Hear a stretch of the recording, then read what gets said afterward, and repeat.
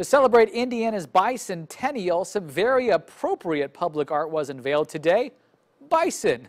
I love these puns. Five colorful beasts were revealed on Main Street this evening. Of course, more than just being a good pun for Indiana's 200th birthday this year, the animal is also an appropriate choice thanks to its appearance right there on the Hoosier State Seal.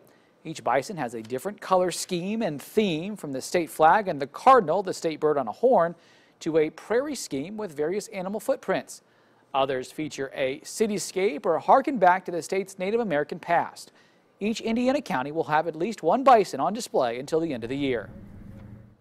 I think it's a great play on words, easy to market, the bicentennial. I think it's a great idea. It's exciting that five sponsors came together to do that. So it just shows how strong our community is on both sides of the river.